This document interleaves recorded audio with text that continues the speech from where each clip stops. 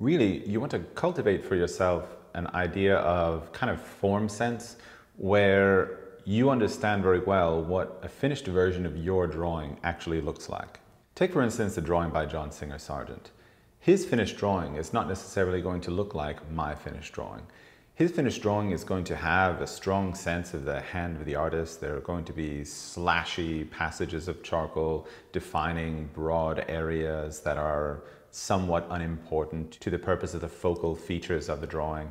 He's sometimes going to have a dark background, but the evenness of that dark background is not going to take the highest priority for him. I think a lot of times you're just going to see parts of the drawing that in a way look very unrefined and those are going to kind of cast into contrast the more refined aspects of his drawing and really assist through that observation of those two kind of polar opposites a feeling of kind of completeness in the focal area. You can look at a drawing by an artist like Michelangelo. Similarly, his form sense really kind of comes out of a place of utility with the idea that so many of his drawings are a way for him to think about or consider different compositional ideas, different structural kind of researches. So a Michelangelo drawing, which is finished, is going to have a completely different form sense from the kind of finished version of a drawing that I would make. Some of the really key elements to the stage where we consider finishing a drawing are going to be things like modeling form, which is to say, ensuring that the gradation from the highest key lights into the shadows have a certain degree of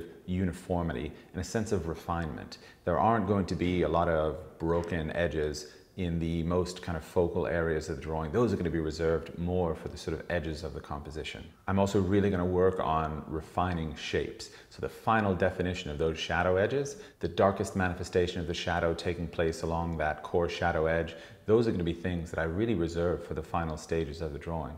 Looking back and forth between my drawing and my source image, I'm searching for a certain balance of values that seems to make sense between the two of them. I'm looking at the darkest darks and asking myself whether the relationship of those darkest darks to the overall value of the shadow, do those two meet up and make sense in a way that I want? Do those two values together seem to push the light shape upward and forward into our attention in a way that it does in my source image? In order to judge these value relationships, one of the techniques that I use is actually a really, really simple one. I stand back from the drawing a few paces, I squint down my eyes until I'm almost looking through my eyelashes, and I start to observe value differences. With my eyes wide open, looking at the drawing, I might find that there are two values within the shadow that stand out from each other.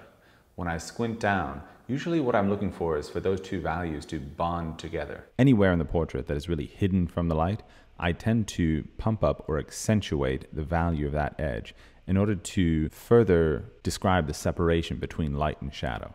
I do find among the students that I work with that this is a place where they can create a little bit too much emphasis sometimes. So while I am expressing this as a really important and useful tool in the description of shadow and light, I'm also going to offer a little bit of caution and say your over attention to that edge can cause it to get too sharp, too dense, and it can draw too much attention. In this way, we create these kind of focal edges in a place that really they don't belong. Something that is a temptation, I think, in the last moments of a drawing is that sometimes we try to grab a hold of something too tightly.